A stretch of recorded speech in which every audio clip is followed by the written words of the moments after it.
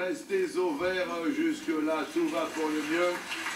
Et on fait connaissance avec Bernard Rivesalt. Bonjour Jean-Luc. Alors parlez-nous de la vie, l'amour, tout, dites-nous alors. Eh ben, écoutez, euh, comme vous l'avez dit, je viens de Rivesalt.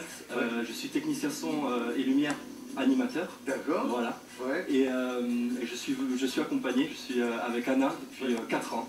Elle est là? Oui, elle est Oui, avec comme elle est heureuse. Et puis on voit euh, qu'il y a vraiment du vent à Rivesalt. Et c'est assez rigolo, il vient du même côté en C'est plus. hein. C'est-à-dire que vous avez le, le même vent qui souffle du même côté. C'est ça. Merci Bernard, vous êtes fantastiques tous les deux, vous êtes Merci. très beaux. Merci. Merci encore Bernard. Première question en France. Pendant les grandes vacances, les péages d'autorité refusent les règlements par chèque. Est-ce que c'est vrai Je dirais que Est-ce que c'est vrai. Vrai. La réponse est une mauvaise.